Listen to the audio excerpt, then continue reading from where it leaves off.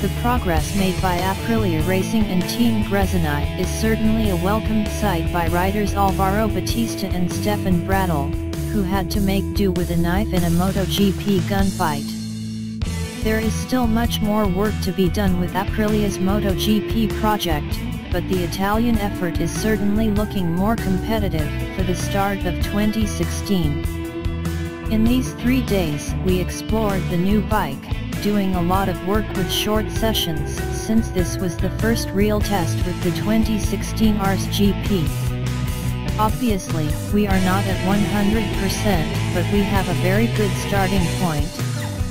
I think that we are already at a similar level as the end of 2015 with the difference being that we are just at the beginning, said Alvaro Bautista. There is a lot of room for development whereas with the old bike we were at the limit. We still need to work on a lot of things but I'm pleased with the work Aprilia has done. In the next tests I hope to be able to lay the foundation for the new season. This test was really important as it was the first contact with the new bike, added Stefan Bradl.